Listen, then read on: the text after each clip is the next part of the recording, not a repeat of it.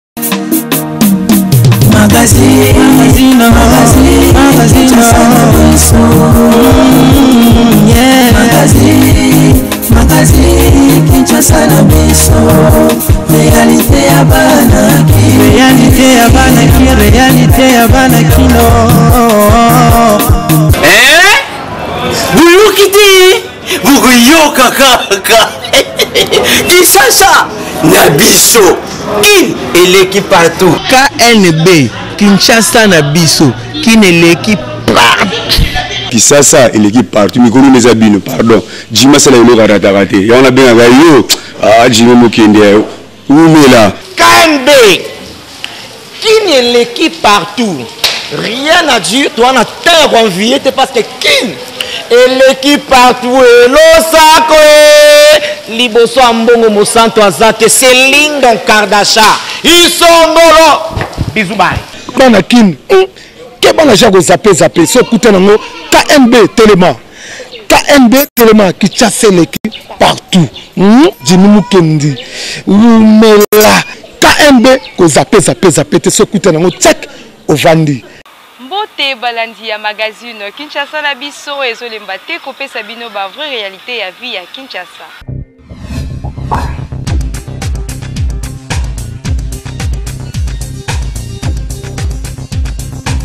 discours oyo chef de l'état asalaki par rapport ya déboulonnage de la dictature epesi mwa nungunungu na bandeko ya fcc na yango secrétaire général ya udps séraphin wumba a éclairci par rapport ya discours yango élément ya héritier lukoji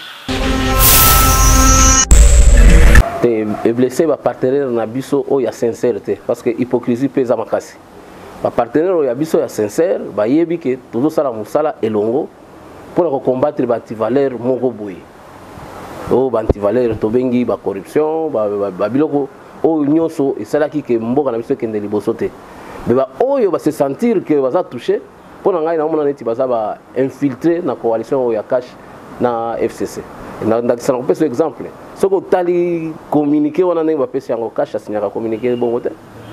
fcc asignaka mpe communiqué bongo te fcc azalaka na mandataire naye asignaka bacommuniqué oyo ekomi style neti pétition eza mpo na ngai eza bamécontent ya fcc ba mécontent oza na fcc oyo basepelaka na coalition wana te il faut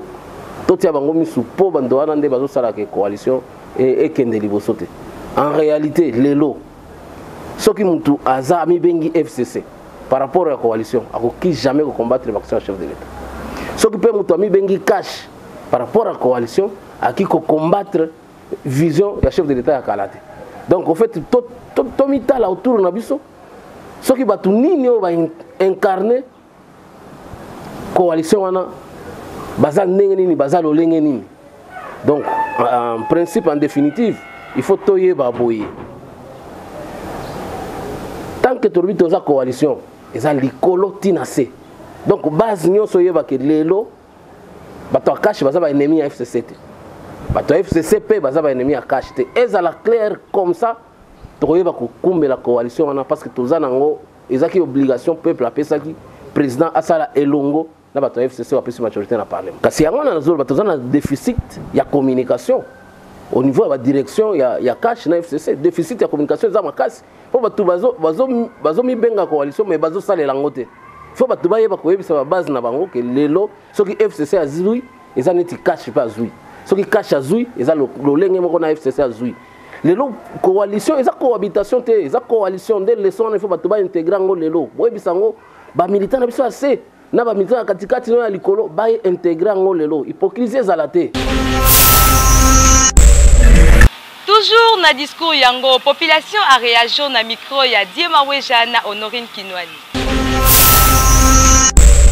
Parce que si le chef de l'État akanisi que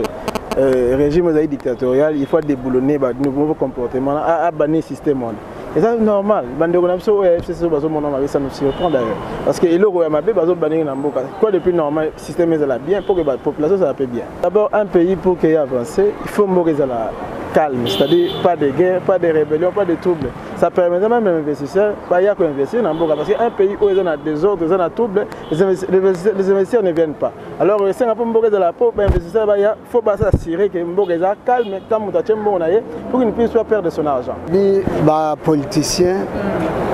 bazaka na makambo na bango oyo basalaka oyo ezali eh, ntango eh, mosusu logike te me baza na logike na bango mpo na ngai makambo nani président de la république euh, alobaki kuna ezali mpo na intérêt ya peuple il faut bato nyonso basepela bon soki bango bazomona mabe nayebi te peut-être basepelaki kaka bango moko baprofitaka peuple a se retrouver te nazo soutenir discours ya chef de l'état alobaki na ye bien il faut kolongola makambo ya dictature tokóma na état de droit je ne vois pas d'inconvénient qui se sent morve se mouche hein? na basanction na banini na makambo ebele donc qui sont concernés. Période au babengi mondialisation. Il faut tonuer relation na ba état musus po o biso tozangi bango basalisa biso biso pe tosalisa bango na o bango bazangi. Pourquoi ba propos oyo chef de l'État à tenir sur à ko déboulonner euh, dictature na mboka. Na ebité mutu oyo nyonso ako sentir que ba propos wana eza mabe seke ayebi likambo biso population toza lisu na besoin ya dictature te si tolembi kolemba oyo tolembi eza nini tolembi tokufa nzala tolembi dictature wana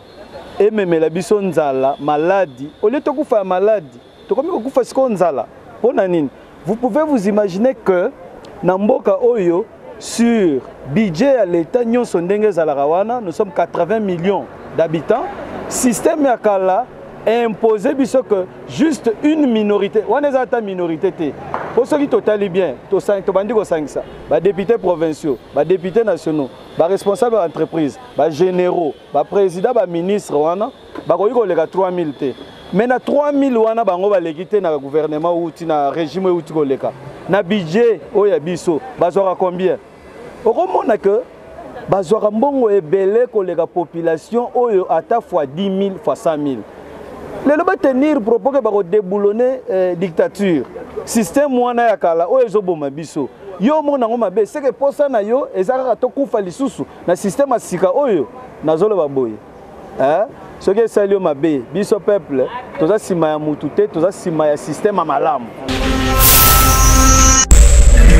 Bautaki kopekisa yango sirène mpe na ba gironfa mingi mingi ba policiers nde bazo ko continuer toujours kosalela yango. Na yango tosengi na bakonzi ba continuer toujours ko appliquer lolenge bapesaki ba mesures na bango.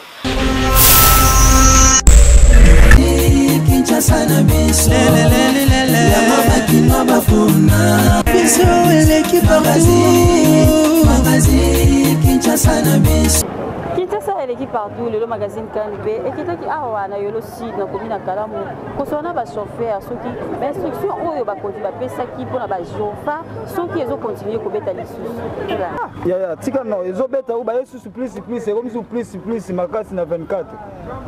donc ezo continue nango kaka bamakambo oyo ezo continue nango ya basirene mibeko oyo bango mo bazwaki ezosimba te sikoyo toloba nini na biso mpe tokomaka lokola bango mibeko bango batielo ya sirene boye ebetaka te mais ezo continue twana na dossier ya masa na biso baboma ya chauffeur yango epesa biso mpasi bamibeko bango batie eloko moko te eyekontinue mpona bakonzi en tout cas vraiment basunga biso mpona eloko wana tobimaka te mpo tosala aksida tobimaka mpo tolukela bana talaka mninga chauffeur aza na fola obeti masa tuka esalaka biso mpasi eza kola ideme ngai ekweleli ngai esala bato nyonso mpasi antuka vraimen eloko wana esala biso mpasi tozo continue na eloko likambo wana na bakonzi batika bason wana mpo neti lobi avantiere nokutana na bayaka ba policier bien minduki na ba moto batie bina minduki benda boye ezalaka ta ezalaka ta mpo na nini bana yango bien bapeme basalaka biloko wana te mpo ni toujours kaka bapolisi basalaka biloko wana kitoko te ela décision bakonzi bazwaki bazo respecte yango te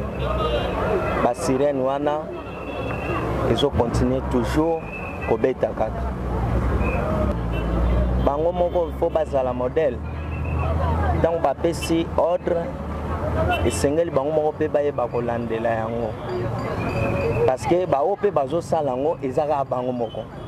epuis lwa yango mpe euti kaka epai na bango moko eloko vraiment na kosenga na bakonzi balandela mibeko bango bapesaki balandela yango mpe ntina suka mpo bato oyo balandi bakoka kotya yango mpe en pratique boti kolanda bavi ya bachauffeur ndenge bareagir na mikro na biso kasi balobi barespecte ata maloba moko te ya bakonzi kasi basengi na bakonzi soki bapesi bainstruction ilfaut balandela basalela yango suivi mpo bayeba soki ezali respectue na terrain sasa oyo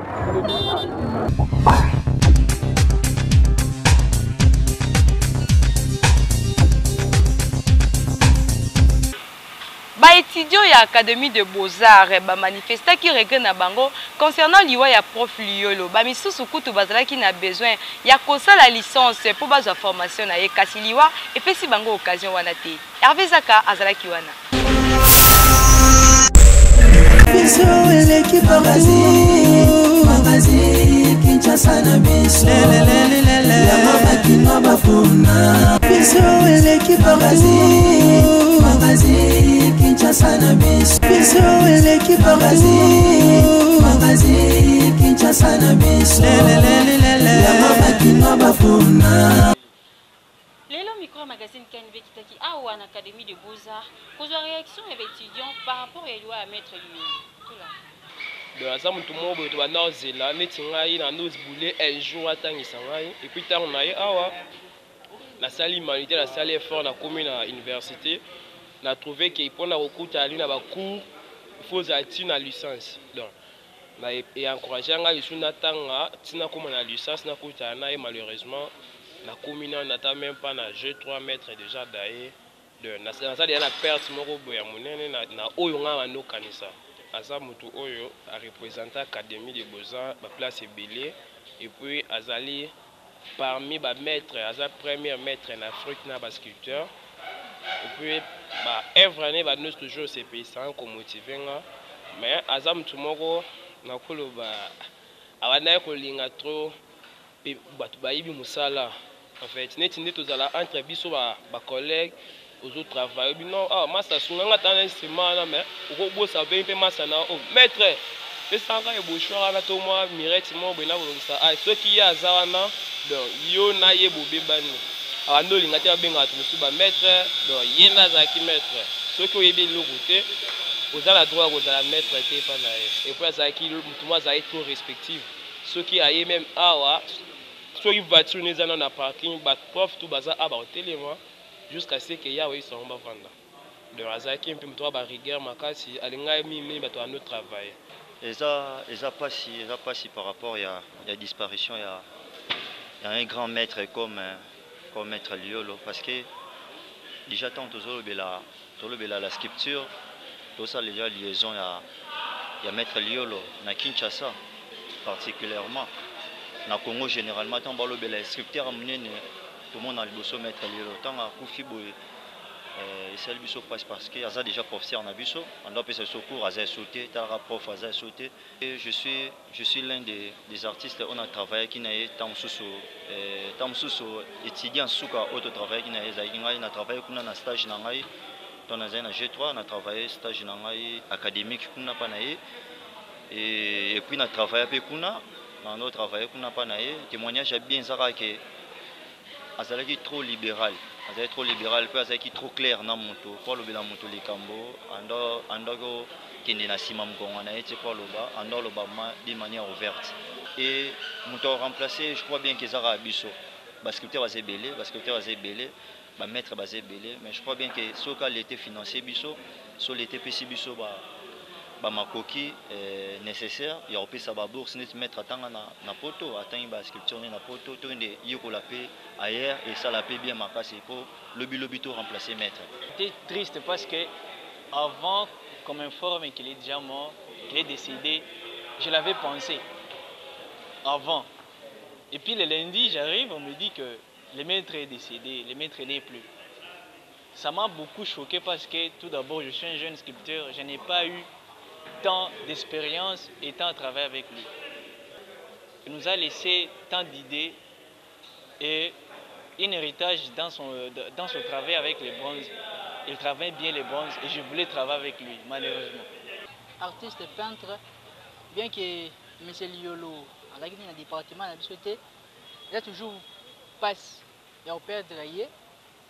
parce que ye nde a valorisaki biso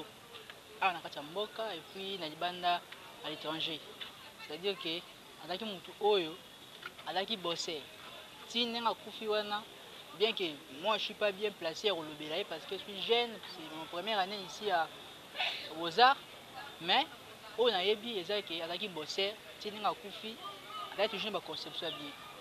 Ezalaki ba etudiants ya Academie des beaux arts ndenge bawuti kopesa ba temoignages na bango po na liwa ya Maitre Liyolo kasi basengi na gouvernement a continuer kotia ba oyo batikali maboko po basala pe lokola Maitre oyo asalaki. Kinshasa oyo. eleki partout.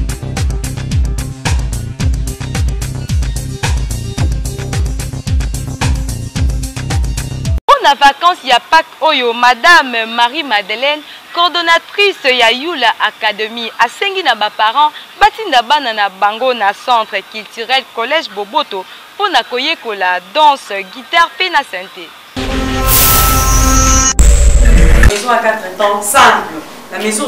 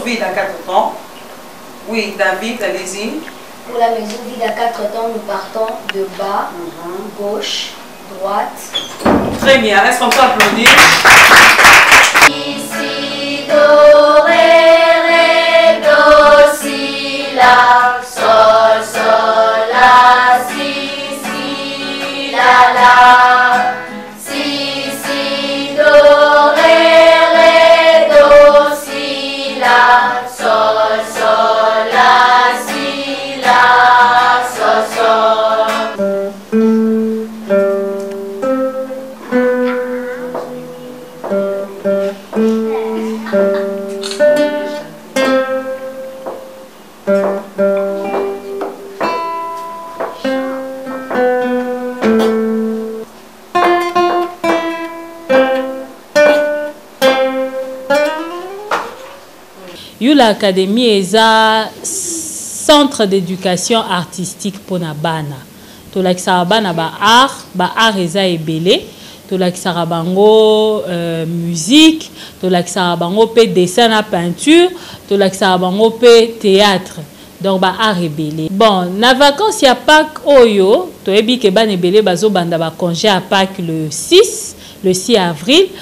Tolengeli ba ateliers, ateliers ya kolakisa bana kobeta guitare, Kobeta piano, atelier ya kolakisa bana kosala peinture na dessin et puis atelier ya danse. Toyebi que deux semaines, deux semaines eza ebele, bana bakofanda na ndaku bakosala nini? Yango wana tokolengeli pour que bana ba s'ennuyer te, bazanga eloko ya kosala te, tolengeli ba ateliers wana. Eobanda kosalema euh, trois fois la semaine. Trois fois la semaine, ba gants eza de 11h à 13h, gants mususu eza de 13h à 15h. Bana oyo baza na mbula motoba kino zomi na sambo donc entre 6 ans na 17 ans yango wana bana ba, bango wana nde bana tozozela tobosana te Tosi tobandaki eza na groupe mususu ya bana basi babandaki depuis le 25 fevrier bango bakendaka classe après classe baye kolanda ba cours tandis que oyo tozo banda nde na paque oyo eza pona bana oyo babanda kozela kaka ba vacances pona bango nde tozo sala session ba atelier oyo en tout cas ba parents bazanga occasion oyo te premier element tozo viser eza ke bana na biso Bazanga zanga biloko ya kosala te. Bana na biso na bandako bakoma kaka distraction television. Distraction television. Ou bien baza libanda bazosala eloko te. Eloko ya liboso tolingi ko occuper bana de manière saine, to occuper bango malamu. Eloko ya mibale tolingi bana bazwa mais oyo eza ya malamu na apprentissage ya ba instruments de musique. bazwa mayele, bazwa bokasi, bazwa ba idees, bazwa confiance na bango na kati na bango donc ba bolamu nionso oyo koyekola instrument ya musique epesaka yango tolingi bana bazwa. Pona koyebisa ba parents que ngai oyo mutu nazo coordonner naza nanu molakisi. Naza nanu molakisi po na tanga na ISP Gombe, na yebi ndenge ba laki ba lakisaka bana. Donc toko assurer bango que ba encadreurs oyo ya bana to poni bango kaka boye te.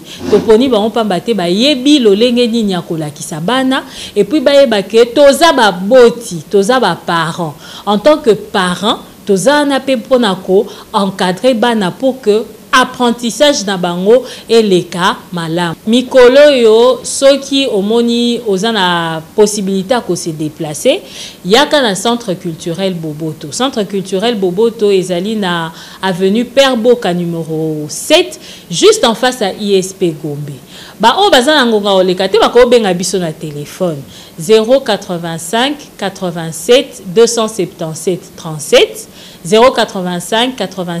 085872737 yango numero na biso numero wana pe bako utiliser pona whatsapp bako tindela biso message bakoki pe kokende na page facebook facebook ya baluki yula academy u na biso yula wana eza na ba u mibale keba Yula na U mibale lokola bakomi awa, oluki na page Facebook, otindeli biso message, tokoyanola yo, mpe mingi tokoyebisa yo ndenge nini osala mpo na komema mwana na yo. Likambo ya kokomisa eza nango ya ofele. Tosengi nde ba parents bazwa kaka mwa courage, exercice ya kosala mpo na ko se deplacer, baya kotikaka bana. Bajeune bobengami mokolo ya le 14 avril na stade Tata Raphaël mpo na ko celebrer messe de rameaux elongo na tata wa biso episkopo Fridolin Ambongo.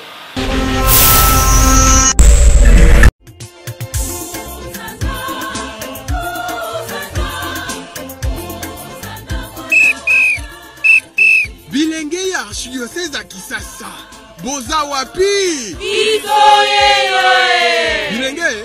kin est kin centre kin ouest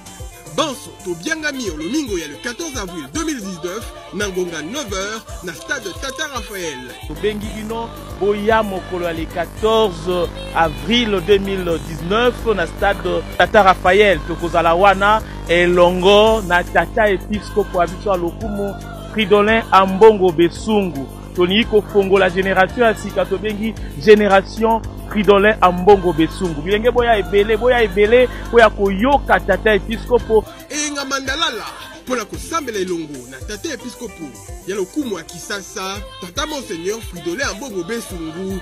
journée diocésaine de jeunes édition 2019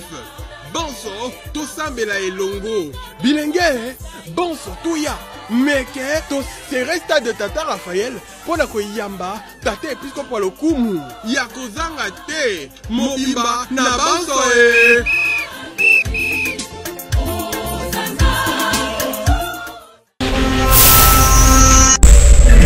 centre culturel boboto mpo na kopromouvoir culture congolais aorganize festival toyokana comme invité bayuda de kadiyoyo mpe mokamo ya bambala ya bandundu Samedi 13 avril à 17h, la salle de spectacle Centre Boboto. Droit d'entrée 5000 francs.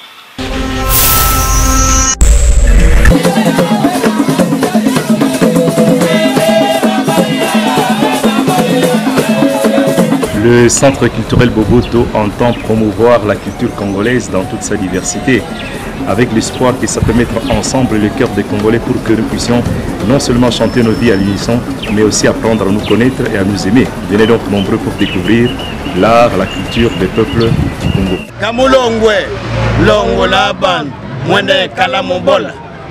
Wemie, wemie, wemie, wemie, mima, mima, mima. Mungu monama kusola nge gakela waya, waya, waya, waya, wesa. Wana kamulongo,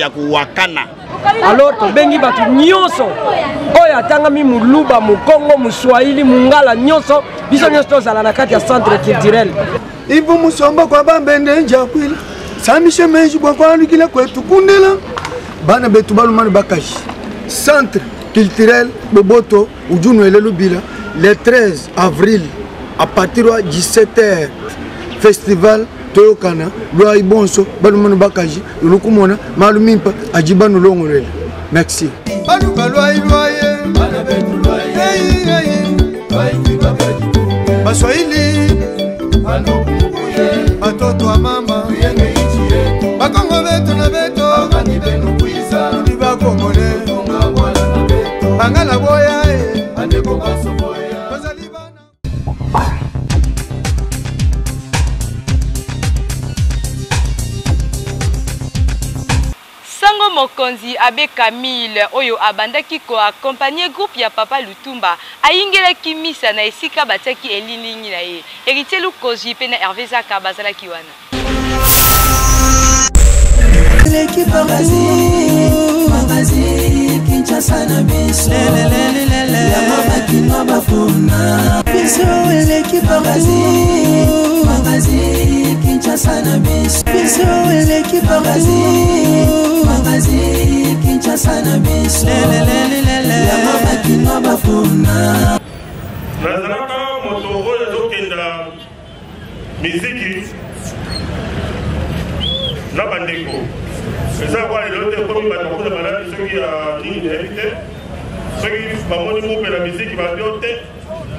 aza malamu te poto nde wana nga na ntango wana nde nga nakangamaki na vie ya mokutu nayeba ye ya mokutu nayeba ye ntango maloba bango bana lisasa koyoka banisi makambo bana lisasa te biso oza bana lisasa esika biso nde abetaka ya mokutu te grand maître akufa tozokenda bisika bina na baninga mpe ntango toyei kokutana na ye eloko ya makasi ayebisaki ngai alingi nakamba ye nakamba orchestre na nzela molimo nde koloba te nakambaki bango bomoni na sese mpe ntango nyonso likambo lina elingaki kosalema na orchestre tokobanda yango na misa Na ndako na yo. Tokosambela liboso misa. Soko misa esili, bato kobeta miziki. Bokoto. Olingo ya kojuge. Tokeba na yango.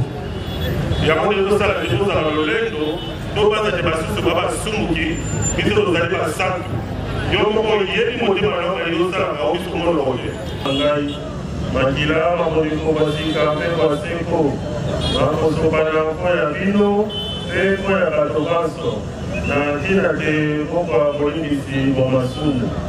bosalaka boyo mpo ya kokanisa ngai.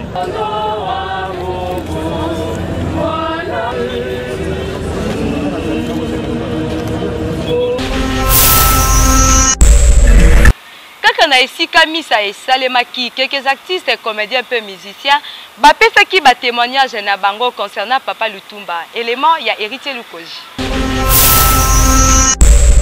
artiste te mais naza en tant que membre ya collectif cap faut dire que initiative ezali ya cap tant tozwaki initiative wana parce que tomonaki vieux euh, simaro aza aine na biso aza icone ya na culture ya mboka na biso tant tomonaki akufaki tomonaki malili moko boye organisation moko ezalaki te yango biso tozwaki initiative wana euh, na kati ya kak kak eza collectif oyo esangisi bamusicien bacomédien bacinéaste bastyliste donc bato nyonso basalaka art nde toyaki komona monsieur emile oyo aza parmi banotable ya, ya lingwala à travers mutuel na ye na les, tous les amis de lutumba toluka to, to,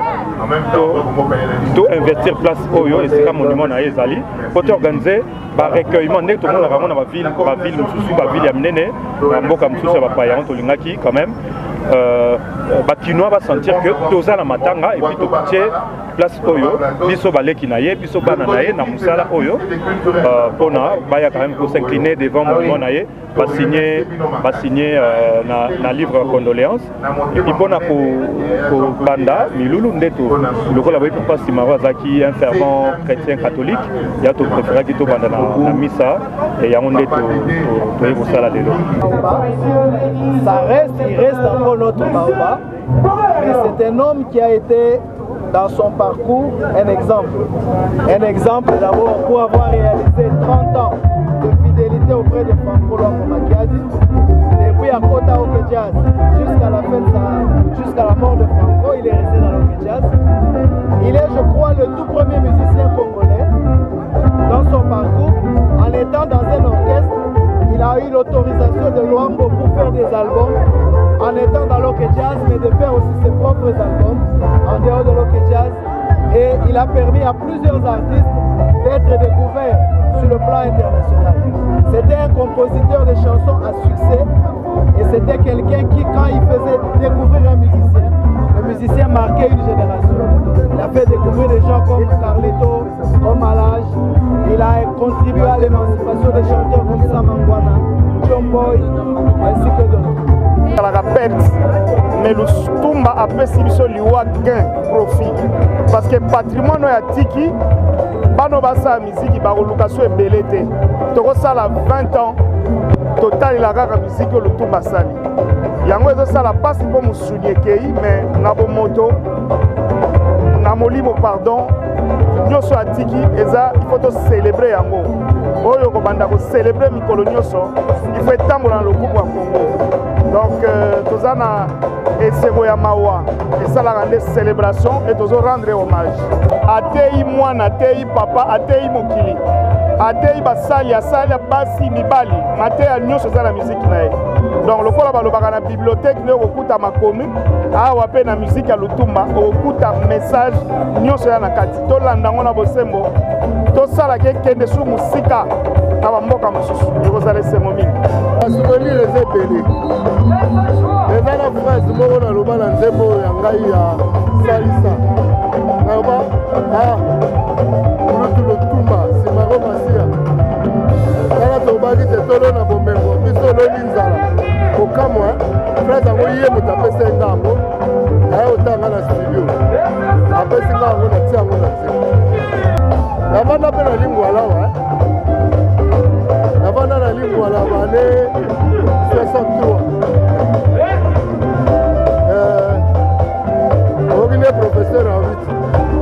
profesere abi ye moko kulutu atunaki ye omoni ndenge bana matonge basali mpo na bokulu ntango oyo ya bino ekoya bokosala boni boni ape nazongeli ka france ya profesere nazongeli yango